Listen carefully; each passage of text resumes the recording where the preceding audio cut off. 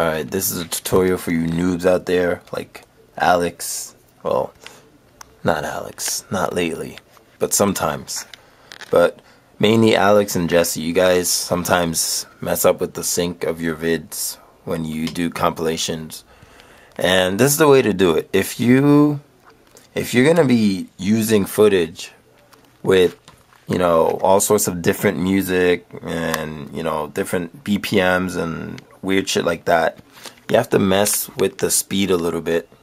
And every time you do that, you can't just trust the preview that you see in the program itself because what's going to happen is when you actually render it, it'll come out a lot differently than you know you imagined.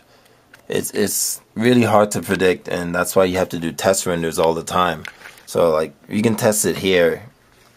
I mean, you can already see like I tried to slow it down or speed it up tiny little bit, maybe like, you know, fractions of seconds faster just to get the feet in sync.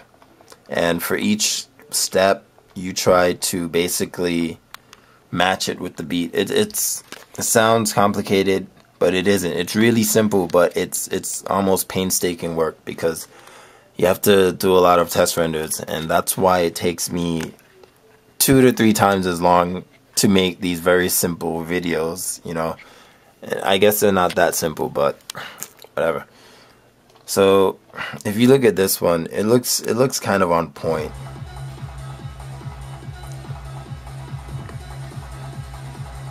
Yeah, it's, it's pretty much on point.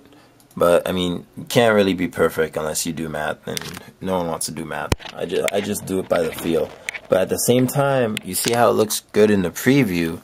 You still have to make sure you do a test render.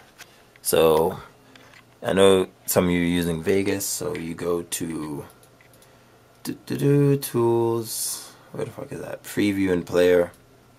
And then that bullshit comes up. Just press OK. It should do all that crap. And it's gonna do a test render of that specific part. How it's gonna look when you finally produce it. So you need to do that to make sure it's actually on point. Let's wait for this. It's running pretty fast because you know I've got like computer. Alright, not really, but alright, there it's automatically playing. It looks okay, but for even crazier accuracy, right? This is what I do. Sometimes when it's hard to tell, you just slow it down a little bit and you actually look at it in slow motion and see if the beats match.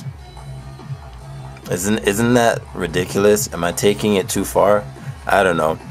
I just hope some of you guys can like do this because I'm looking at videos now you guys are putting out there and it's pretty it's it's pretty fail. I'm seeing a lot of offbeat stuff. It's not cool. Unless, of course, you know, you think it's cool. Well, you know, then it's cool to you. But it's not cool to everyone else. You know? You know what I'm saying? Alright, peace. That, that was too much.